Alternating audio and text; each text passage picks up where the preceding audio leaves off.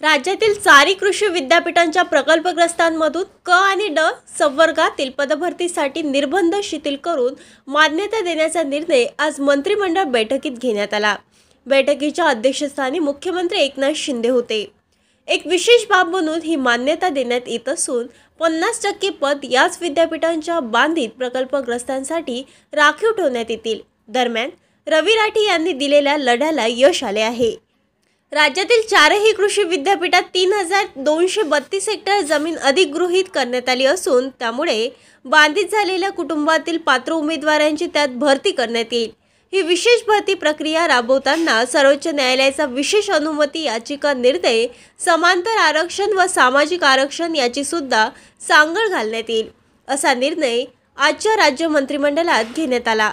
या निर्णयाने या आंदोलनाचा लढा उभा करणारे प्रदेश संघटक सचिव राष्ट्रवादी काँग्रेस पार्टी शरदचंद्र पवार समाजसेवक रवी राठी यांच्या मूर्तिजापूर येथे प्रकल्पग्रस्त मजुरांतर्फे जंगी स्वागत करण्यात आले. रवी राठी यांची मिरवणूक काळात छत्रपती शिवाजी महाराज डॉक्टर बाबासाहेब आंबेडकर महामानवांना अभिवादन करून प्रकल्पग्रस्त मजुरांनी विजय उत्सव साजरा केला. यावेळी हजारो मजूर उपस्थित होते. रवी राठी यांनी छेडले होते मोठे जनआंदोलन प्रकल्पग्रस्त मजूर रोजंदार मजूर यांच्या मागणीसाठी काम बंद आंदोलन त्याचबरोबर रवी राठी हे स्वतः अन्य त्या उपोषणाला बसले होते.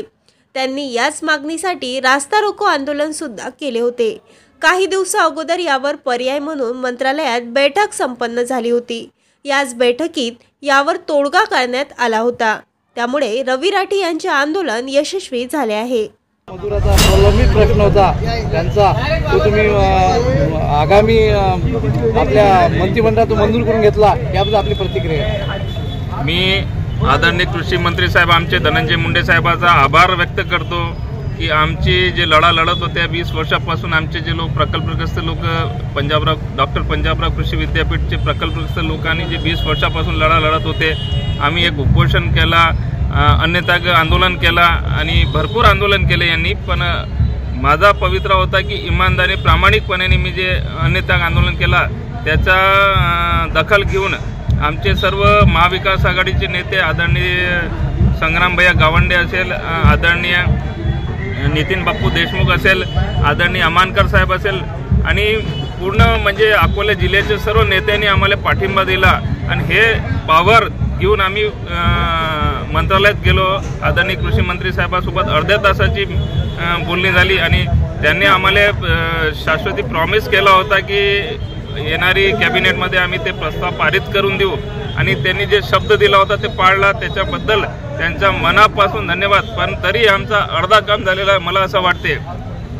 आज जे प्रकल्पग्रस्त मजूर असेल किंवा रोजंदारी मजूर असेल त्यांची मजूर वाढसाठी आम्ही एकशे ऐंशी रुपयाची मजुरी आहे ते वाढसाठी आम्ही प्र- प्रस्ताव दिलेला आहे. तर ते कामगार मंत्रालयापर्यंत गेलेलं आहे. तोही एक प्रस्ताव पारित झाला. तो मजुरांसाठी जे आम्ही हे अर्धी लढाई जिंकली आम्ही अर्धी आणखीन बाकी आहे. ती ते शंभर टक्के ते करून आणणार मी. एकशे ऐंशी रुपयेपेक्षा वाढवून आणि तीनशे पासष्ट दिवस काम देऊन ते जे जिथपर्यंत करत नाही मी हा म- मार्ग सोडणार नाही. हे सर्व लोकांचा का सोडणार नाही. जे आम्ही लढा लढत आहे त्यांचे न्याय हक्कासाठी ते शंभर टक्के करून आणणार. ताज्या बातम्या आणि घडामोडी बघण्यासाठी महाराष्ट्र मेल या चॅनलला लाईक आणि सबस्क्राईब नक्कीच करा.